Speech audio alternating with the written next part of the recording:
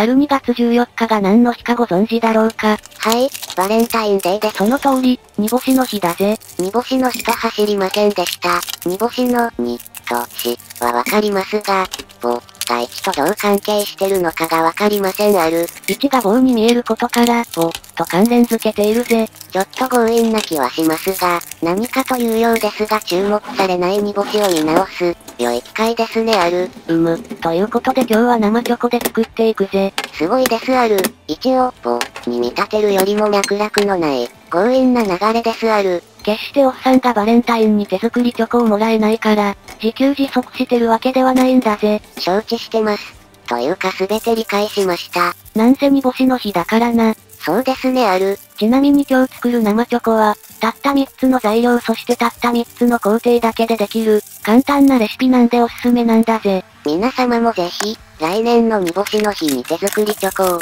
ですねある。生チョコ、手作りで検索すれば大体この手のレシピが出てくるぜ。娘さんによると女子の手作りチョコといえばこのレシピ。というほど人気があるらしいですある。おっさんはすげえレシピ見つけたと思って動画でお送りしてるが、若者には常識だったってことか。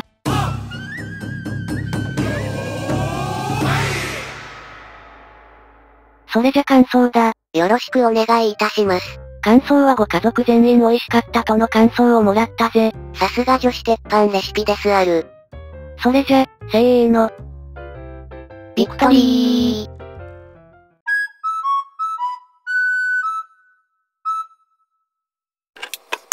今週も漠然と厚焼き卵を作るコーナーへようこそ。しかし厚焼き卵は作らなければならないのだ。その通りね、お弁当に黄色の彩りが必要な間は、そして厚焼き卵が家族全員から嫌われない限り、厚焼き卵作りは続くわ。ヒデゴンス先生の次回作にご期待ください。まだだまだ終わらんよ。確かに厚焼き卵作りは始まったばかりだ。その通り、おっさんが厚焼き卵をせこせこ巻いている間に、コメントにお答えします。来たぜ、めっちゃ人気のないコメント返信コーナー。お料理と関係ないからね。えっとね、なんとか祭のお知らせ、というか料理動画祭りの情報をくれる方ありがとうございます。参加できてない理由は、単におっさんが料理するタイミングと合わなかったり、忘れていたりです。多分忘れてる方だな。実際に企画料理はあまりできておらず、自身のレトロ飯も更新できていないありさまだったりです。ただ、参加したくないとかではないので、タイミングが合えば参加していきたいと思います。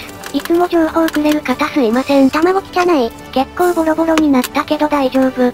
先週は味の問題であって外観がやばかったわけじゃないし、過去には2回目の巻き3回目の巻きで挽回したことも、あったりなかったり。どっち大体挽回できてないかな。くおー、なんてことだー。結構綺麗にやり直せてるー。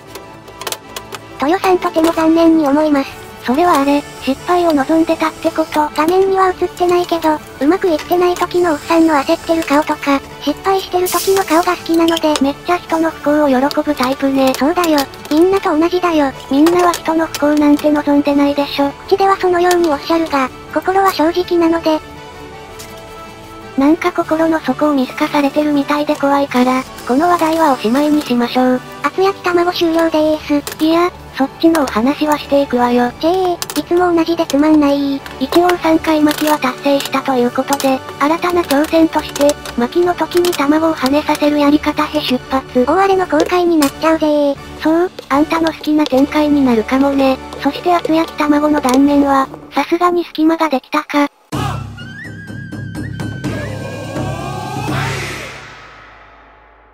それじゃお弁当の中身紹介。はいはいのはーい。右からお嫁さんが作ったナポリちゃん。うまいりハンバ。ナポリちゃんって何？ナポリタンの子供。ちゃんぽん麺で作ったナポリタンよ。名前が可愛い式になるぜー。と、続きでうまいりハンバーグ。綺麗な麺だけ見てほしい厚焼き卵。グリーンリーフ、塩あいこ、最後に小松菜を浸し、冷凍。ナポリちゃん美味しかった。ナポリちゃんは美味しかったとおっさんが言ってました。おっさんは農家なので今日はビクトリーはお預け。お預け、おっさんにはぴったりの言葉だよね。そ、そうなのかな？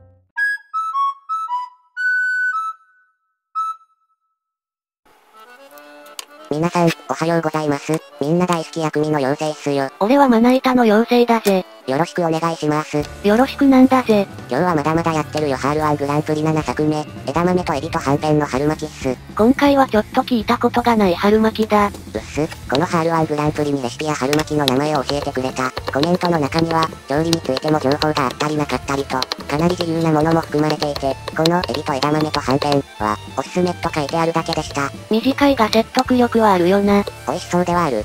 と感じさせてはくれますが、やっぱり調理法不明。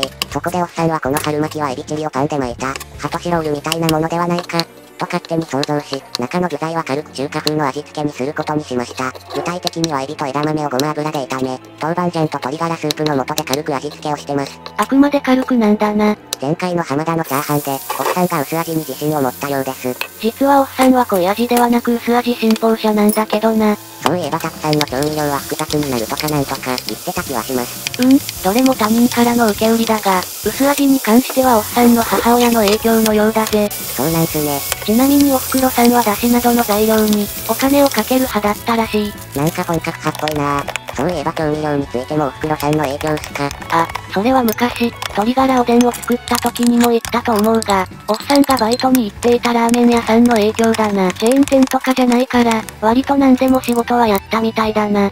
まあ、ブラック企業かなおっ。さんの個人的意見によると、ブラック企業は技術がホワイト企業はシステムを学べる、と言ってました。おっさんの言うことだから信じちゃダメだな。さすがに信じる人はいないと思いますが、と、話してる間に春巻きが上がってきたっす。うっすら見える枝豆が良い感じだぜ。美味しそうっすね。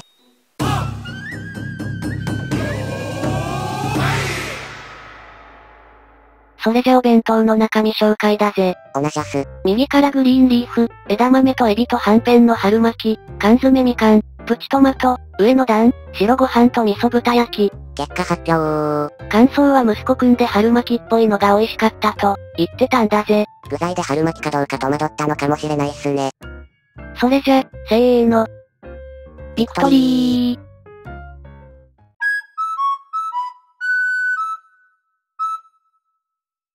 えー、今日は指定野菜となったブロッコリーの簡単料理を紹介します。簡単。とてもありがたいです。おっさんのブロッコリーといえば、大体そのままお弁当箱の端に入ってるけど、それ以外でもブロッコリーは万能で、今回みたいにオリーブオイル、ニンニク、塩コショウ、そしてコンソメスープの素を少し、これとベーコンを一緒に炒めるだけで美味しいソテーができます。そう、なんですね。しかもこのレシピ、ベーコンではなく、アサリだったりイカなどに材料を変えてもできます。調味料を減らしたい方は、バターと塩コショウだけに変更してもいけます。とても、簡単です。いけそうな気がします。冷凍ブロッコリーだとさらに簡単です。